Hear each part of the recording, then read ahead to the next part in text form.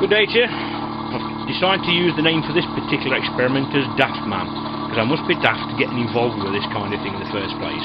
But after seeing a few videos on YouTube, I, I started to get a bit inquisitive uh, and decided to go on, I'll have a go then. Um, let's see what all this hype is, whether it works or not. So here we go. Um, I've actually got two coils. I Don't know if you can actually see that. 22 SWG, 26 SWG, and a 28 SWG, 500 turns. That's 500 turns, bipolar. I think that's what you lot refer to it as. On that on that coil, and the same on that coil. Now, as you can obviously see from what I've and, um, and what I've just said, I've got three tapped outputs one is the actual pulse, one would be the trigger circuit, and one is a generation circuit. But obviously the trigger circuit also generates power as well. Same with that coil there, exactly the same as what I've just described. Uh, underneath, I don't really want to tip it up, but underneath, I don't know if you can actually see that, there's some magnets flying around, it's just tripping um, reed switches. So the uh, the only difference with mine is you've probably seen that capacitor at the back and wondering what that's for.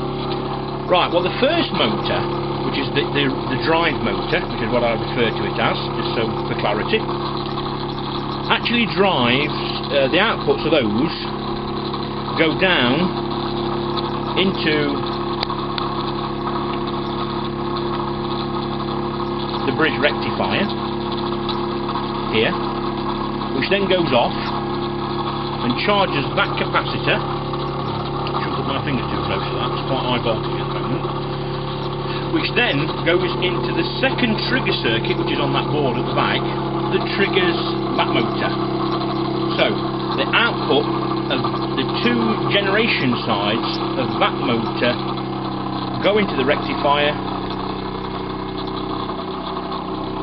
charge that capacitor triggers the second circuit, then I tap the output off the second circuit into the next bridge rectifier, which then charges this battery. This battery's just come off charge this morning. It was um, about, I don't know, I think about 9-10 volts, and it's now charging, just to show you, that's the reading from that battery. It's now charging.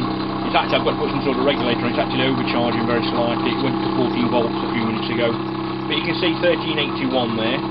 The supply battery is 1198 solid, and that's the current it's actually using at the moment. So, for some unknown reason, mine keeps speeding up a little bit and slows down a little bit. Uh, I'm assuming it's when the capacitor starts using the, the current, and it, it just seems to do this sometimes. I don't know why, but uh, something I've got to look into. Maybe it's just a bearing that's starting to wear or overheat. It has been running for, oh God, it's got to be running for months now, non-stop this has. Uh, I have actually got a, a, little electronic circuit that I normally have on this that um, switches the batteries over. So when this one runs down to about 8 volts, it switches over to the next battery and swaps the charge over at the same time. So it just keeps swapping the battery, flip-flopping if you like, um, and keeps the whole thing running. The problem is, if you let the batteries run too low, and I've noticed this, if I let this battery here run down to about 2 volts, and then put a new fully charged battery on, which is what I normally use a pair at the back there, and I let them charge up, I find that it doesn't charge that battery back up fully. So over a period of time, the whole thing comes to a grinding halt. If I reset the voltage detection for the switch circuit to detect the voltage drop at about 8 volts, and then swap over, the thing will just run for months. I've actually had to stop it in the end because it's just getting on my nerves, it running it back at the shed. So it's actually been running for many months, um, and I've only just finally plucked up courage to put it on YouTube, if you like, and let you all see it. Because, uh, you know, it's not my, I am an electronics engineer by trade, and it's not my field, and, you know, I understand a lot of people get uh, really ridiculed over this kind of thing, so I don't want to destroy my reputation. As we can see, it's gone to 14.2. getting a little bit too high. Hence the reason why I built the switch circuit, but I didn't want to complicate things, so I've just taken that off just to show you.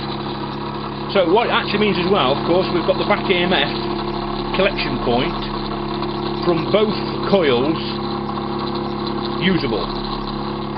So I've not even tapped them. So what I was trying to achieve is to prove that I can generate power without having no connection between the two batteries. So in other words, that one, the generation from that coil is tapped together here through the bridge rectifier to charge the battery and that's its current voltage. I'm going to have to shut it down bit because I'm going to start napping this battery because I'm just overcharging it and I don't like that. Um, although it's fluctuating a little bit, it does go up a little bit higher than that sometimes unless I'm using the control circuit that I normally use. So hope that goes to some way of proving that this thing works or doesn't. All I can tell you is this has run for months. If you are interested in what this is, these are little bobbins of coils that go in these.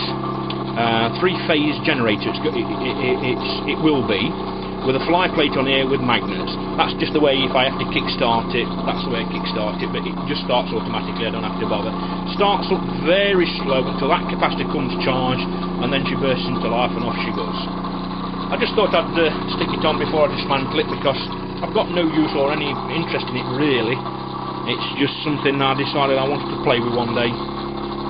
So there you go. I uh, hope you can pick some bones out on it.